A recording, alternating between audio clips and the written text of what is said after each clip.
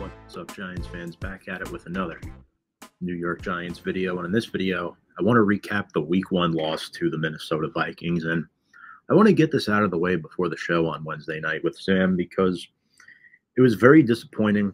Um, I don't want to spend all night Wednesday talking about it when it, it'll be time to talk more about Washington at that point. But this game was just so bad. Um, again, early the Giants just fell flat and they never really recovered. Um, you know, nice way to open the drive. Dru Phillips punches the ball out.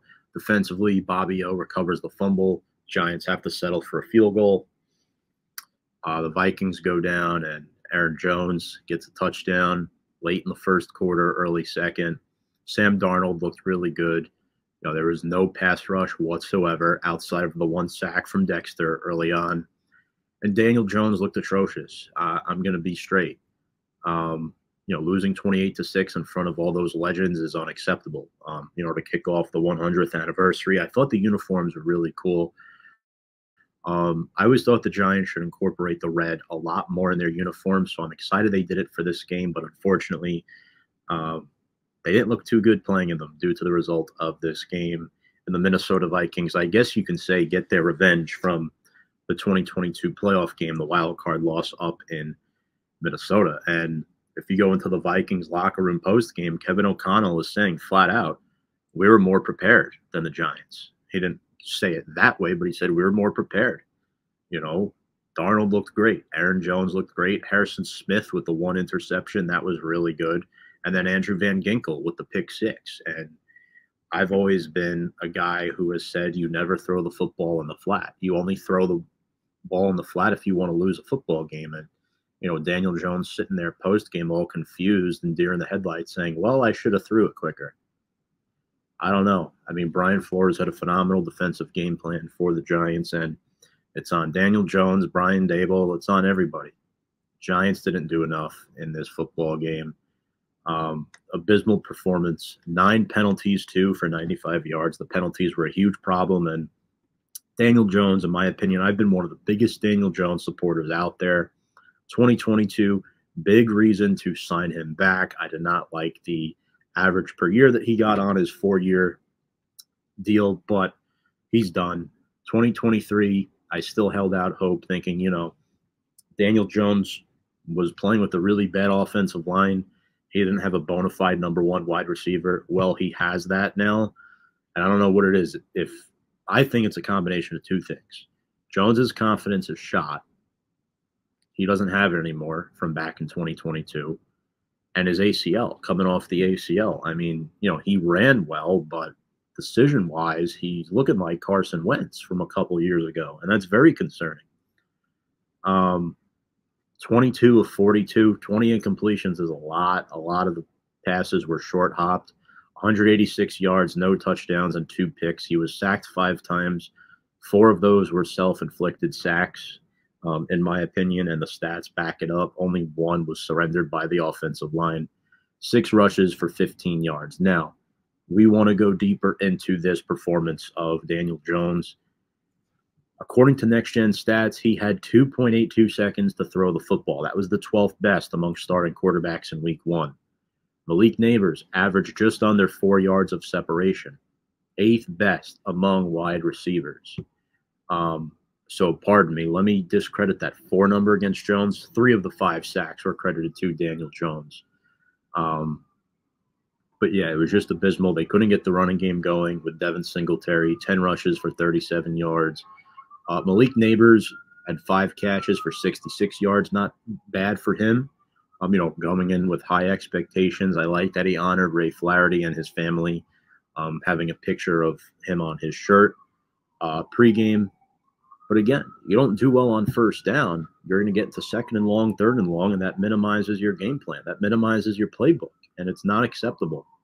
You know, you could look and say, oh, Wan'Dale had six catches for 44 yards. That's not a lot of yards because most of the throws are short, and he had 12 targets. That's on Daniel Jones. Darius Slayton, three catches for 26 yards. He's in concussion protocol, not good. The rookie tight end Theo Johnson had one catch for 18 yards, but he also had one costly drop. Now, looking at third down, the Giants weren't bad on third down. They were actually pretty good. Seven of 18 on third down. However, way too many third downs. Uh, just 240 total yards of offense, two turnovers, 0 for 3 in the red zone. The one bright spot of the Giants' offense outside of Malik Nabers was the offensive line. Andrew Thomas had a 91.4 pass blocking grade, gave up no pressures, hits, or hurries at all. He was perfect. Uh, Jon Runyan gave up the only sack on the offensive line, along with the pressure. Um, not bad numbers from him. John Michael Schmitz gave up one hurry and one pressure. Greg Van Roten was the worst one, but again, these numbers are not terrible. Uh, gave up four pressures and two hits. You know, you want to see better, but Greg Van Roten's been with the team out of the five starters the shortest amount of time. And then Jermaine Eluemunor, who I thought was pretty solid. Three pressures, two hurries, and a hit. So just 10 total pressures surrendered by the Giants starting offensive line. And let's be realistic here. You're going up against Dallas Turner, Jonathan Greenard, Andrew Van Ginkel, Harrison Phillips. I mean, this Vikings front is probably the only strong suit of their defense. I think their linebackers are average to below average. Um, you know, Ivan Pace was solid. He was talking a lot of trash, but the secondary is not great, and the Giants just couldn't attack it like the way Daniel Jones did in the 2022 playoff game. Um, defensively, the Giants were not good. Um, Micah McFadden did not play. He was listed as active, but he didn't really get in the game, and that was definitely a problem. Um, Aaron Jones averaged six and a half yards per carry, 94 rushing yards on just 14 carries and a touchdown. Um, it was really, really abysmal. And then Brian Burns and Kayvon Thibodeaux were non existent in this game. They did not pressure Sam Darnold at all. And then they got very defensive with the media um, after the game. I think it was Jordan Raanan was asking Thibodeaux a question, and um, he said something like "next question," and then Jordan was a little puzzled, saying, "What is that a bad question?" He was asking something about how, you know, a lot of money is invested into your defensive line you guys really couldn't get it going today. What was the issue? What was Minnesota doing? And T- Thibodeaux, I thought, rudely cut him off and just, you know, was acting like a hot guy. And I don't really appreciate that coming from a guy who is supposed to be developing into a leader entering year three for Big Blue. I did not like what I saw from Kayvon Thibodeaux. Dexter Lawrence, I thought his response wasn't as bad. It's just the way he worded it was terribly. Um, the one question that was asked to him wasn't the best question, but I thought Dexter Lawrence had the only good game out of the big three on that defensive front. Um, you know, Brian Burns, very hit or miss player, eight sacks last year with the Panthers. Um, Deonte Banks struggled too. He had one tackle for loss. I thought he didn't have a bad game, but he did give up that touchdown on the slant to Justin Jefferson. That is a difficult play to guard.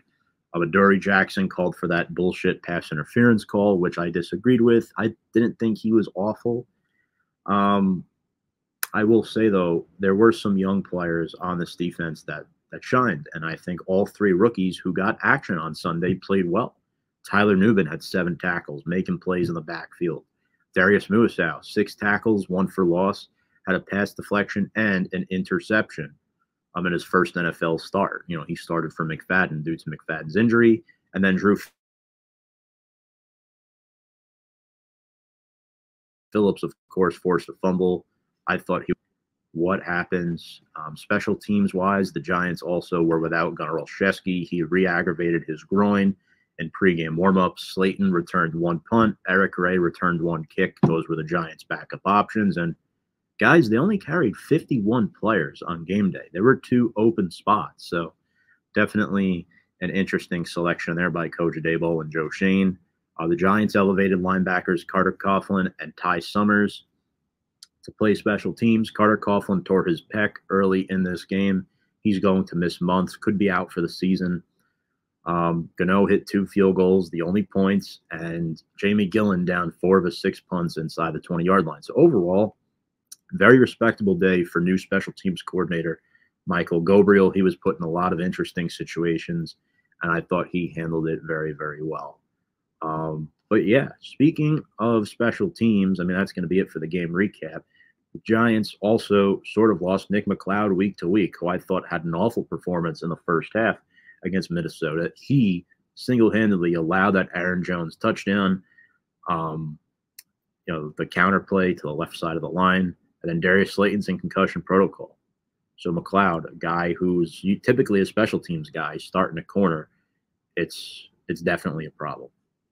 Um, and one more thing before I address the uh, new kick returner situation, I did not love this look for Giants fans heckling Daniel Jones post game. Um, I understand why they did it. Um, I respect their right to voice their opinion, but they waited for like an hour. And, you know, Daniel Jones is already not confident in himself. Why go at this guy even more when you have a game next week at Washington? Um, I guess Giants fans really just don't like Daniel Jones on a personal level, and it's sad. It is very sad, and it's disgusting in my opinion. But um, fans have the right to boo. Fans have the right to get mad, especially at their quarterback when you lose. And Daniel Jones is the second highest paid player on the team. Behind, actually, no, he is the highest paid player on the team in front of Brian Burns. So yeah, it, it's not it's not a good look at all to throw two picks and look lifeless in your first game of the season coming off the injury. And I do feel bad for Daniel Jones. There was a video that went viral. One of our guests on Big Blue Avenue last year actually filmed it, Sarah McCrory, of fans burning Daniel Jones jerseys in the parking lot. That's way too far. I have no time and respect for that. But the heckling post game of them coming out of the private players exit, yeah, um, security might have to up that in the future.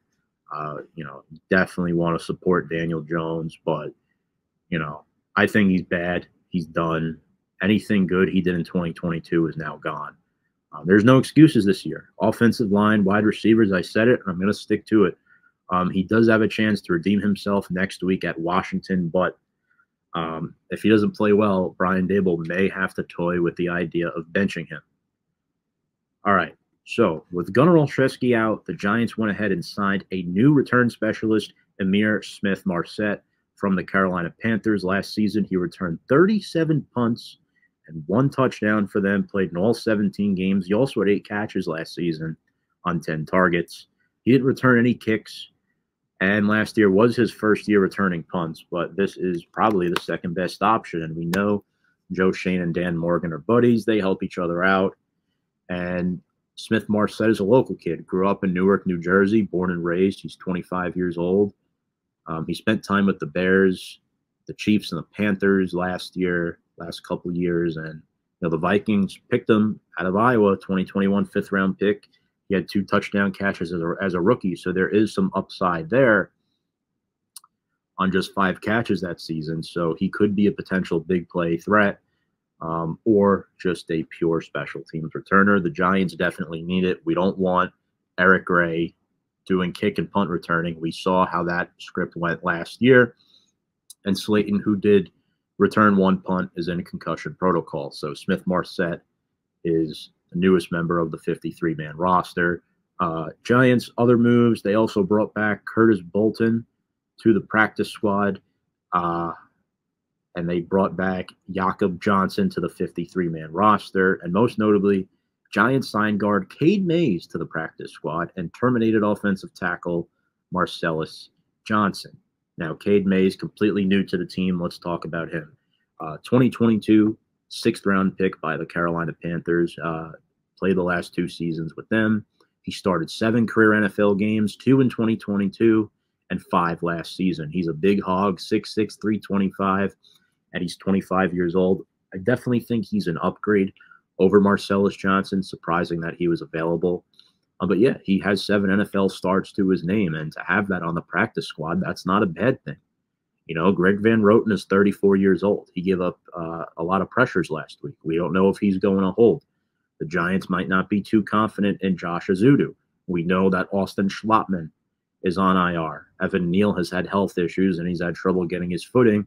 And then Jake Kubas is an undrafted rookie who's an unknown. So you want to add veteran experience in the backup uh, O line position unit as well, even if it's on the practice squad. And maybe they look to elevate Cade Mays next week. Who knows? He has starting experience, so I wouldn't be surprised if he's one of the two Giants elevations. So with that being said, that's my recap on week one and brief preview into the week ahead as week two transactions continue to take place and sort. Folks, please, if you're new, make sure to check us out on all of our social media platforms on Instagram, Twitter, and YouTube at Big Blue Avenue. Make sure to smash that like button, ring the bell for notifications, give us a thumbs up. Appreciate you all. And guys, it's just one week. Stay calm. I know it's tough, but who knows what can happen in week two. Folks, without further ado, let's go Big Blue.